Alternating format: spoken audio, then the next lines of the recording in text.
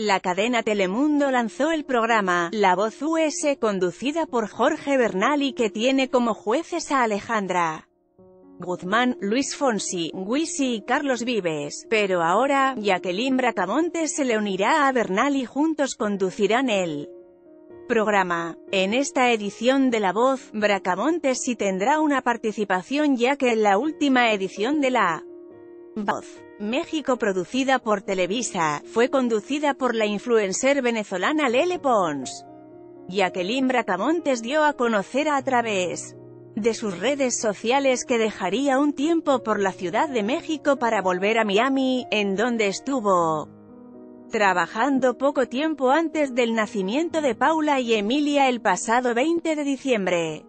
Visitó varios programas para anunciar la noticia Bracamontes viajó a Miami para llevar a cabo el proyecto de la voz US y poder verla a partir de los próximos capítulos, tal como lo mencionó en los programas a los que asistió para dar la noticia.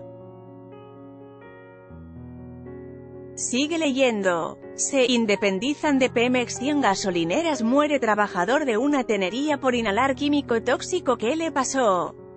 A Patti López que fue a parar al hospital, aseguró que casi no la cuenta Exatlón Aristeo Cázares reta a su hermano, Ernesto, y ya se sabe quién es el supercampeón en la cama. Geraldine Bazán confiesa que le robó el corazón.